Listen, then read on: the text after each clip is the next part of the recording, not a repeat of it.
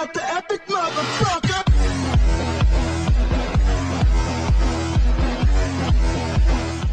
G'day guys, Millennium here, and today I'm going to be showing you some great upcoming new TV shows. Now if you're a great uh, TV fanatic, um, you're going to love this list. Um, I'll put a link in the description below to a full list of shows that are upcoming. Uh, just an example, um, some of the new CW network shows like uh, Beauty and the Beast. Uh, it doesn't sort of sound like a love story, but uh, it looks pretty sexy. And um, obviously, Teen Wolf next year, 2013. Uh, Person of Interest, new season out. Uh, 66 Park Avenue. Um, I've started watching that. It's quite a good television show. And uh, Revolution, that's really good um, too.